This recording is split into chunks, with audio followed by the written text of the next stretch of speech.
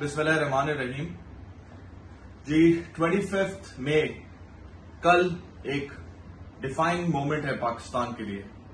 ये कल का दिन हमने डिसाइड करना है कि हमने खुददार कौम बनना है या हमने एक भिकारी कौम बनना है।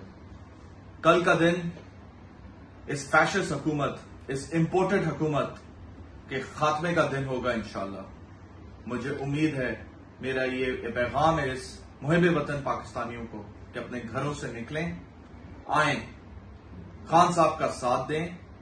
श्रीनगर हाईवे कल तीन बजे हम सबको अपने घरों से निकलना है, अपने लिए, अपनी नेक्स्ट जनरेशन के लिए।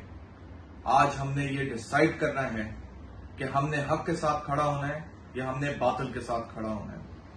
जो दो दिन से ये फैशिस्ट हुकूमत विक्टिमाइजेशन कर रही है पीटीआई के कारकुनों पर हमें इनको मुँह तोड़ जवाब देना है। इनशाला अपने घर से निकलें और खान साहब के इस कारवां में अपना भरपूर हिस्सा दें पाकिस्तान जिंदाबाद।